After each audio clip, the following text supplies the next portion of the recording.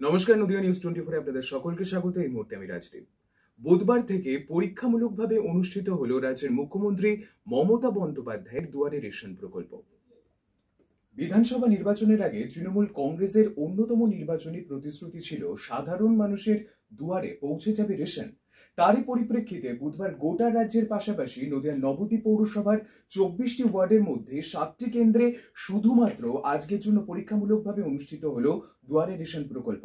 এই দিনে দুয়ারে রেশন প্রকল্পে উপস্থিত ছিলেন নবদ্বীপ পৌরসভার প্রশাসক বিমান কৃষ্ণ সাহা সহ নদিয়ার সাব ডিভিশনাল অফিসার নবদ্বীপ থানার ভারপ্রাপ্ত আরক্ষা আধিকারিক সহ অন্যান্য স্থানীয় প্রশাসনিক ব্যক্তিবর্গ। নবদ্বীপের পাশাপাশি এই দিন পরীক্ষামূলকভাবে দর্শন প্রকল্প অনুষ্ঠিত হয় রানাঘাট শান্তিপুর সহ জেলার বিভিন্ন প্রান্তে।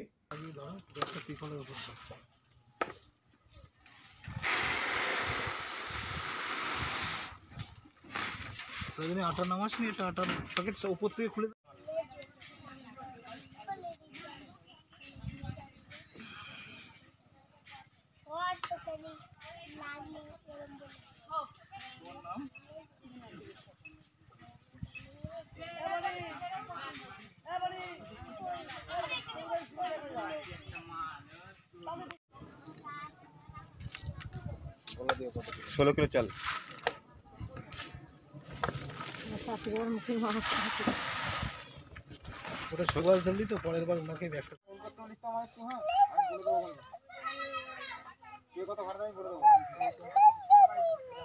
দুয়ারে রেশন, সরকারের নির্দেশ আছে।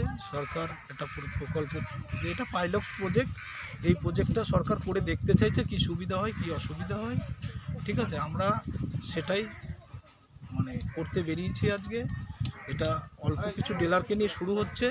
এটা আগামী দিনে যদি ঠিকঠাক পরিচালনা করা যায়, সরকার এটাকে মানে সমস্ত ডিলারকে দিয়েই করাবে।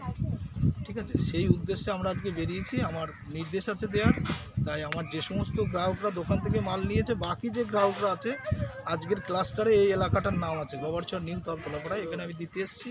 এ পর্যন্ত একজন গ্রাহককে দিলাম আরও কিছু গ্রাহক আছে তারা আসছে হ্যাঁ এসে তাদেরকে আমরা মালটা দিয়ে লাগছে কি ভালো লাগছে।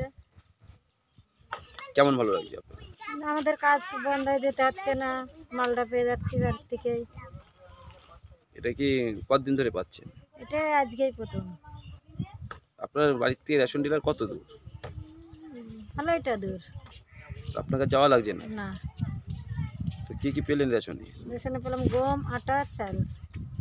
আপনার নাম? মিনতি বিশ্বাস। এই জায়গাটার নাম? এই মিনতি এই জায়গাটা গবাচ্চর তালতলা করা নিউ তালতলা করা আপনার পছন্দের খবর দেখতে সাবস্ক্রাইব করুন Nadia news twenty four. Bell icon press করতে ভুলবেন না।